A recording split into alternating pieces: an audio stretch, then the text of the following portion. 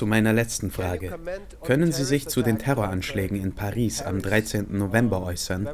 Wie sollte Europa, und damit meine ich sowohl die europäische Bevölkerung als auch europäische Politiker, in dieser entscheidenden Phase reagieren?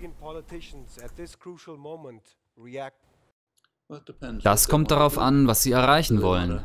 Wollen Sie noch mehr Terrorismus begünstigen oder wollen Sie dieser Art von Terrorismus ein Ende setzen? Das ist die Wahl. Wenn man ihn beenden will, ist die erste Frage, die man sich stellt, warum haben diese Anschläge stattgefunden? Was waren die unmittelbaren Gründe und was waren die zugrunde liegenden Hauptursachen? Und diese geht man dann an. Was sind die unmittelbaren Gründe? Nun, wir wissen nicht viel. Die so ziemlich einzige Information, die wir haben, ist die Erklärung von ISIS. Nicht nur für diese Tat, sondern auch für die Explosion des russischen Flugzeugs in Sinai, die mehr als 200 Menschen getötet hat. Sie sagen, wenn ihr uns bombardiert, attackieren wir euch. Nun, das ist vermutlich der Grund.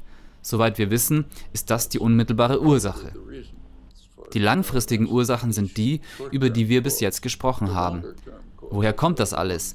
Die Invasion des Irak, die Wahhabisierung des sunnitischen Islams, die Brutalität des Assad-Regimes und so weiter. Wenn man die Wahrscheinlichkeit weiterer Attacken reduzieren will, adressiert man diese Ursachen. Wenn man jedoch die Zahl der Attacken erhöhen will, tut man genau das, was Präsident Hollande gerade angekündigt hat. Lasst sie uns noch mehr bombardieren. Lasst uns ISIS mit Militärgewalt zerschlagen. Wahrscheinlich ist das unmöglich, aber selbst wenn es gelänge, würde daraus mit ziemlicher Wahrscheinlichkeit etwas noch Schlimmeres hervortreten, weil das Problem nicht bei der Wurzel gepackt wurde.